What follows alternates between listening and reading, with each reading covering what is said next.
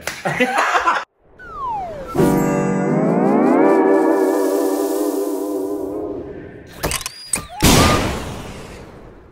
Hi, welcome back to our Stupid Reaction Genius. I'm Korbin. I I'm Rick. I don't know what that was. What was that? I'm gonna die apparently here. uh, Well, please I'll- follow us on Instagram, Instagram and Twitter for more juicy content. It's so And thank you juicy. for us on Patreon. Follow us on official Twitter account. It's like when we had the. Maybe I should drink water instead of coffee. Yeah, maybe you need to be hydrated. I don't know what that is. There's some water in there, right? Stop drinking. There's bong. water. There's water in That's the bong is what that is over right? there. Uh, but today we reacting to a video. Uh, it's it's I think a I don't know what you would classify it as a art. f- I mean, not like a dance or anything like that, but it's like an art form activity, Like like a trapeze. Not trapeze. Not trapeze. like not the, like in Mumbai when they do the climbing thing, it's actually a celebration, but it's also considered a I don't know. sport. I think art. something like that, but uh, we'll see. You sure you're not still dizzy? It might be. Uh, it's called this. It's called Mallakhamb. It's an acrobatic. That's what it is. It's an acrobatic thing It's an acrobatic. in Pune, India. Yes. Uh, but uh, here we go. Okay. You ready to learn about it? Yeah, absolutely. Something new about Indian culture? Come on.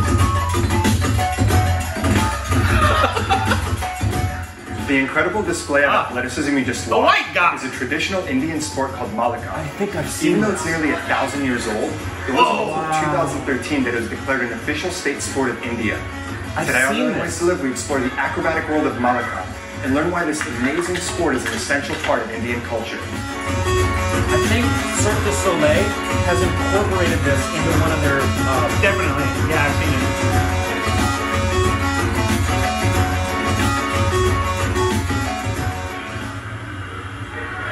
Also, if it's a white guy Malkham is about it, a I'm part sorry. of Indian culture. It's uh, known as the traditional Indian sport, and it is that unique sport which gives maximum exercise to the body in minimum possible time, and that's the fun of it. wow. Wow. Don't hurt yourself. The bruising as they learn to do this. Malkham is a very unique kind of sport. See, in this sport, you work against the gravity. You pull yourself up. When you're holding the rope Malkham in your toe, you know, it's the kind of pressure. We don't use it anywhere. So each and every muscle gets used. Oh, Mallakhamb, she grabbed it with her toe. All the muscles in the body. So I am not saying these muscles involve this, these muscles involve this. From top to toe, all the muscles involved in Mallakhamb.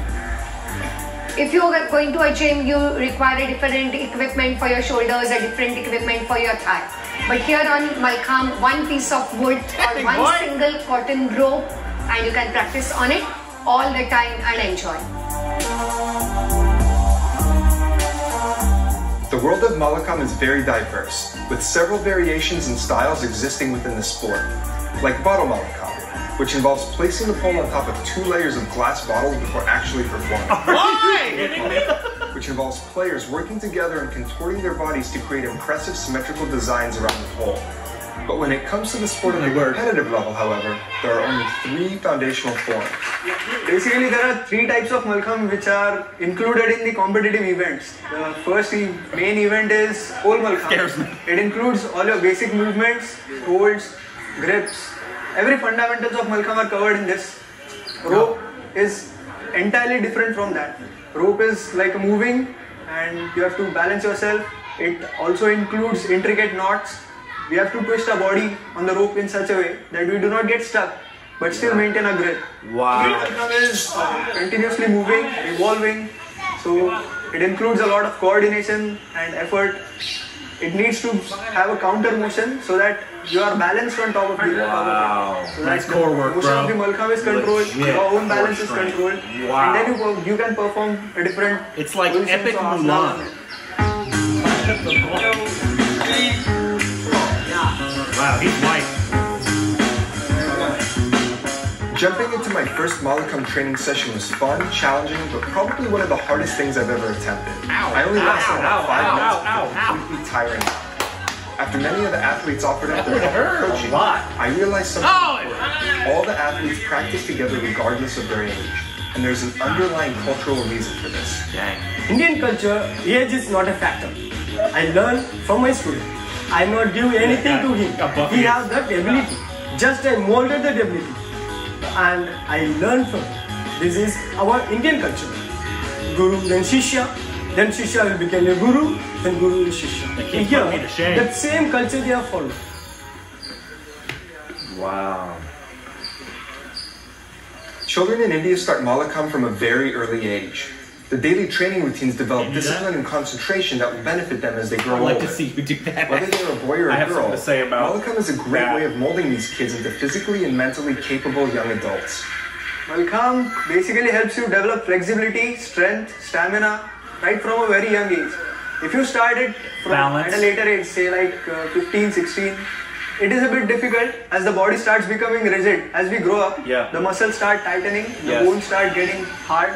So flexibility becomes a bit of an issue. So starting at an early age gives us a very good advantage. It's huge on balance. So more girls need to do Mallakhamb because it gives you a different level of confidence. So when they see Mallakhamb first, uh, they think no, they become very reluctant. Like you know, I don't, I don't think I can do that. But at the end of the session, when they actually climb up, when they do the entire routine, they feel so much confident. There's a smile on their face. So that fear gets automatically turned into the confidence.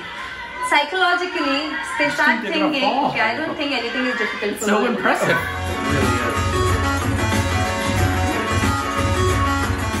Mallakhamb is all about creating access to the masses. A single Mallakhamb pole allows dozens of children to practice and train, and all of the coaches I spoke with teach their students for free. That's how they were coached, so now they're paying it forward to the next generation. Not only does this mean that the sport of Mallakhamb will continue to excel, but it also builds, strengthens, and supports the local community. Community, yeah. What a great thing for the community. That was awesome.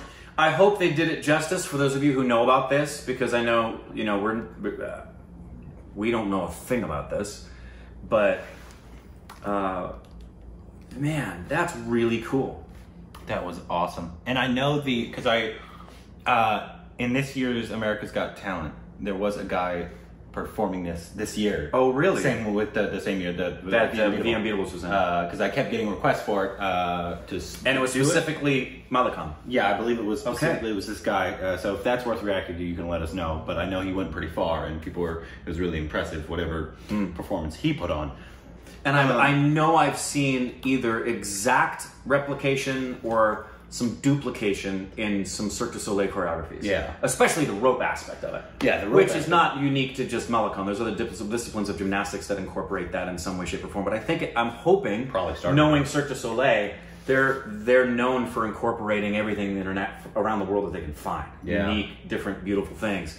This has got, this is just really cool. And even they didn't, I didn't hear him mention it, but I said it a couple times balance. One of the things that happens to a lot of people uh, when they get older is they they not only stop taking care of themselves physically and just accept age they don't recognize the fact like people lose their balance.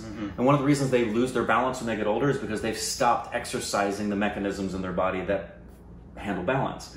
Like one of my things I do, and I, every two or three years, I'll go back over to the park that has uh, the Olympic rings, and I will specifically use Olympic rings as I'll turn myself upside down and do pull-ups upside down because it'll work the muscles in a different way, but it also gets my equilibrium used to what it feels like to be upside down. I'll even run at the rings, jump at them, and swing and turn myself upside down so that I feel myself swinging upside down mm. because it's the old adage of use it or lose it. And they didn't even mention it, but I guarantee there's a, a thing about balance that helps you with this. The, sh- the core strength Oh, yeah. is off the charts. Absolutely.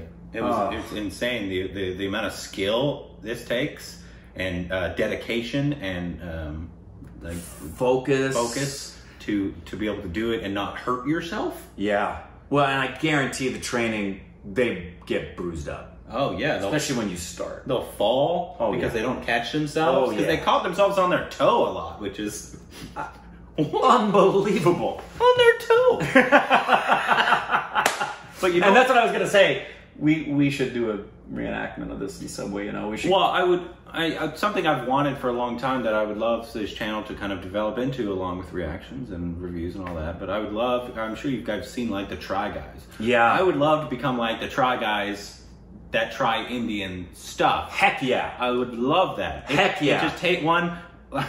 we don't have the access to a lot of it because, like, I don't know if there's anybody in LA that teaches this. Right. Uh, you know, now it's Or has a safe place with a rope, and we yeah, can. Yeah. So I don't. I don't know if there's stuff like that. It's just something I would love to do if we were in India. That'd be different, of course. Right. Uh, but we don't live there. Right. Um, so it's something that I would, I would always love to do. But I used to be able to put my both legs behind my head as a kid until teenage years. Yeah. I don't. Hold on. You can still do it. Hold on. Don't pop anything. I said don't pop anything. You really should stretch before you do that. Gordon. Ah, you know, your mom can do the same position. That's not a any way, shape, or form.